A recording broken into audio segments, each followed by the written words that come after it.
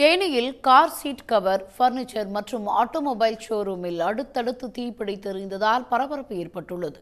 தேனி பூதிப்புரம் சாலையில் car seat cover மற்றும் உதிரி பாகங்கள் விற்பனை கடையும் அதன் அருகில் ஆட்டோமொபைல் ஷோரூமும் உள்ளது.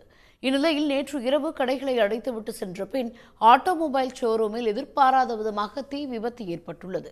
சிறிது நேரத்தில் அருகில் இருந்த மர பர்னிச்சர் கடை மற்றும் கார் சீட் கவர் கடையிலும் தீ மளமளவென பரவத் தொடங்கியது.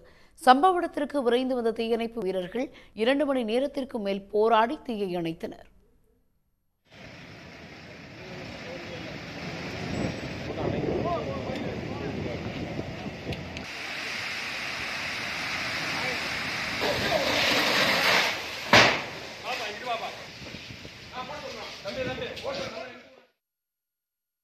இந்த தீ விபத்தில் கார் சீட் கவர் உதிரி பாகங்கள் மர பர்னிச்சர்கள் என பல லட்சம் ரூபாய் மதிப்பிலான பொருட்கள் எரிந்து சேதமாகின.